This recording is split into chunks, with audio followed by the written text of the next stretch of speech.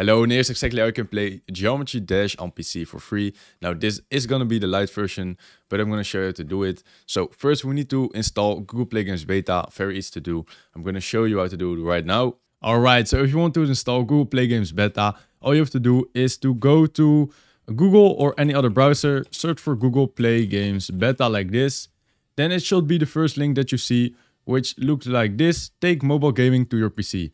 All you have to do is just click on this download button right here and your download will open up in the top right of your screen. If you don't see it here, you can always just go to your file explorer like this, go to your downloads folder, so downloads, and it should be one of these. Now, what I'm gonna do is I'm just gonna click, click on it, open it up, and now it will execute. So now you can choose the file location where you want to uh, install your Google Play Games Beta.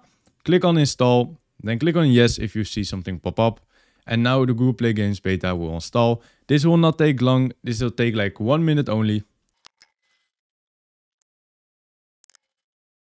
Okay, and once it is done installing, you should see this page open up. Now all you have to do is just sign in with Google. And what I recommend you to do is to now choose your account. So it will look like this. Choose the account where your Google Play Games data is stored. So if you always play on your phone and you log in with X account, all your data is going to be stored on that account. So I recommend you log in with that one.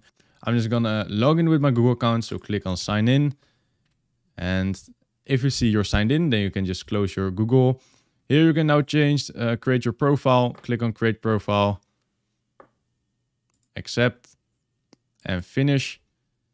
All right, and once you've installed it, you should be on this page. Now, the last step that you need to do is just maximize it like this. Then on the left side, you should see this explore button.